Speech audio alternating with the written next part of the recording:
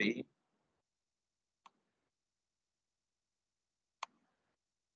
then L2 then L1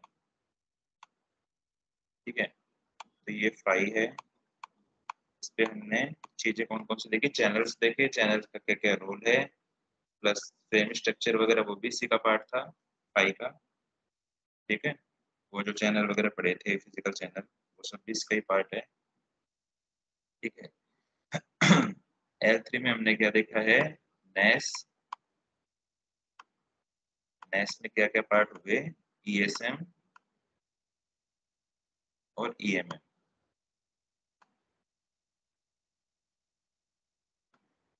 ठीक है? जो वो अटैच वाला पार्ट था और पीडीएन वाला पार्ट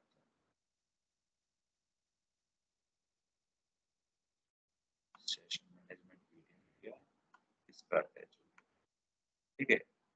आरआरसी में आरआरसी कनेक्शन एस्टेब्लिश हो गया किस किस केस में? मतलब इसमें देख लिया आपने RRC connection establishment plus reconfig वाले पैरामीटर ठीक है? अब थोड़ा ओवरव्यू स्टार्ट करते हैं एल का।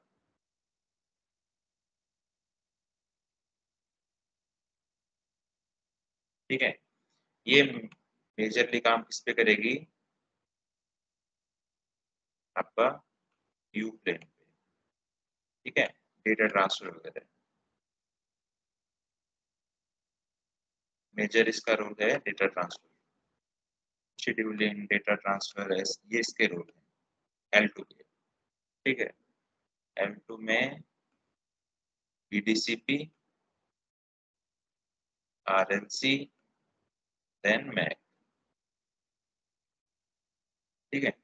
सबसे इम्पोर्टेंट लेयर मैक है इसमें, बाकी ये दोनों छोटी छोटी लेयर है।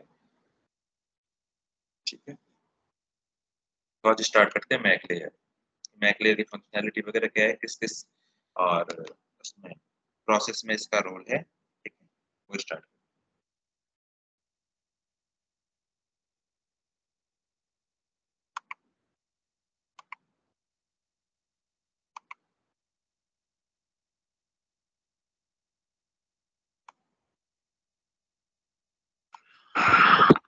Is there five divided in five one or five two?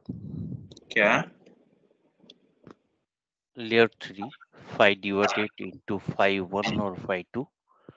layer one Layer three. why we divide layer three in five one or five two No, I think I see I uh, uh heard somewhere, here somewhere. No, no, no. 5G actually we have divided into two parts. That is layer one, not layer three.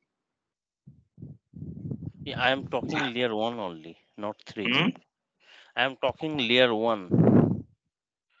Okay, layer one. So five one, five two, right? Yeah. I, Low five, high five. So in 5G we have yeah, that. Concept. Yes, sir. Okay, right, sir. Low five, high five. We have divided into 5G based on whatever we are using.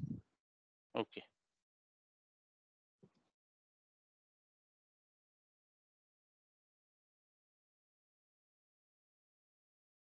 Sir ये ESM और EMM का long form क्या बताया था? इसका session management and mobility management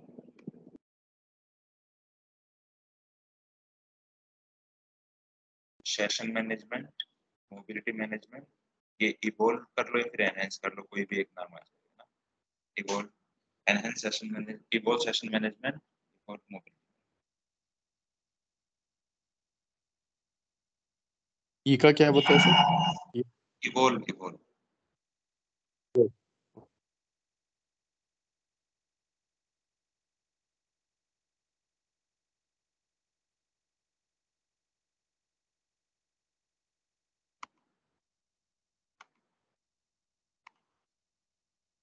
Okay.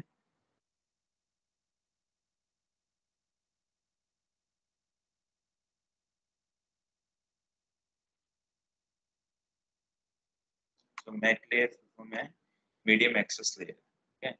ये important layer है MAC layer L two की सबसे इंपॉर्टेंट लेयर है।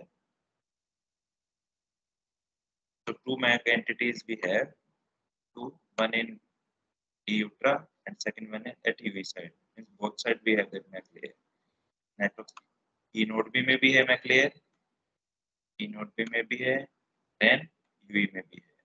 यूवी में तो अपने सारे लेयर हैं।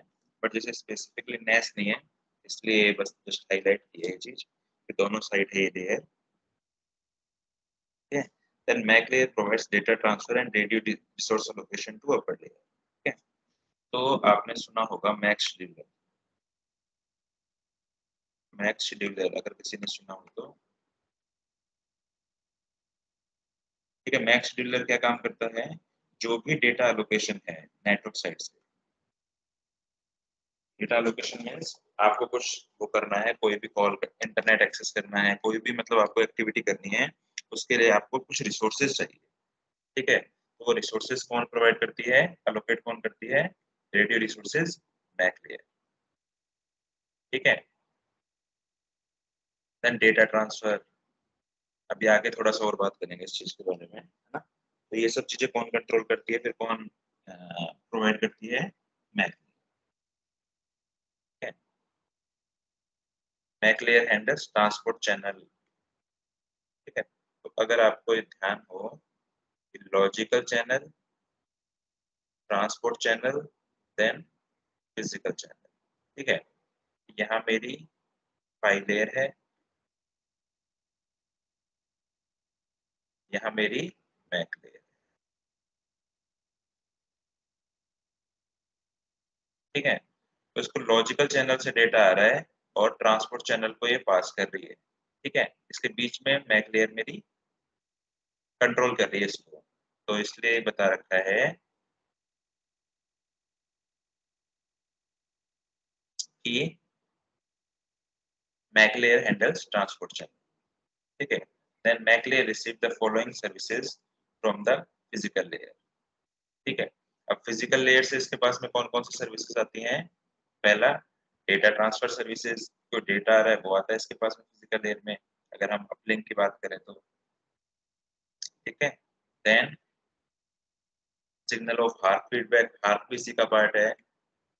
बहुत इंपॉर्टेंट टॉपिक है। डिस्कस करेंगे ये भी। हार्ट फीडबैक हार्ट मतलब एक छोटा सा आपको बता देता हूँ, बस रिलेट करने में इजी होगा कि आप कोई भी डेटा सेंड कर रहे हैं, ठीक है? ये डेटा आपने डी वन सेंड किया। भी ट्रांसमिशन एंटिटी ने सेंड किया रिसेप्शन एंटिटी ने रिसीव किया, ठीक है? अब जो डेटा आपने सेंड किया है, ये आपको पता कैसे चलेगा कि ये डेटा सक्सेसफुली रिसीव हो गया या नहीं होगा, ठीक है? तो इसके लिए हार्ट फीडबैक सिस्टम है। ये एक या नैक भेजेगा। क्या भेजेगा? एक और नए एक